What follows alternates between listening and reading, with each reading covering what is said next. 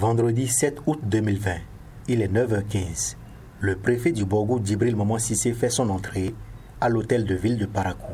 Objectif procéder à la reprise de l'élection du maire, ses adjoints et les chefs d'arrondissement suite à l'arrêt rendu par la Cour suprême en invalidation du siège de l'élu Force émergent FCBE, Ousmane Abdoulaye Traoré et Amadou Youssouf, respectivement titulaires et suppléants. Cette séance fait suite à l'arrêt rendu par la Cour suprême en invalidation du siège des élus FCBE, Ousmane Abdoulaye Traoré et Amadou Soufou, respectivement titulaires et suppléants.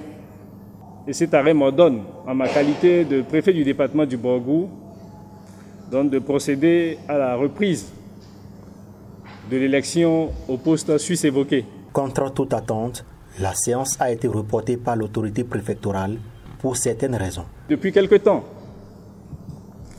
des informations concordantes nous parviennent faisant état de sérieuses menaces de troubles à l'ordre public dans la ville.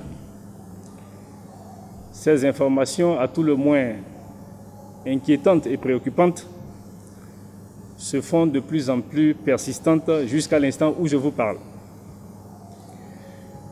Eu égard à cela et pour parer à toute éventualité susceptible de plomber la paix et de compromettre la sécurité des personnes et des biens,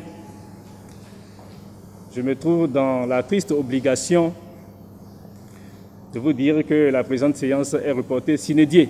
Les regards sont une fois encore tournés vers l'autorité préfectorale qui convoquera dans les jours à venir une nouvelle session en vue de la reprise de l'élection du maire, ses adjoints et les chefs d'arrondissement.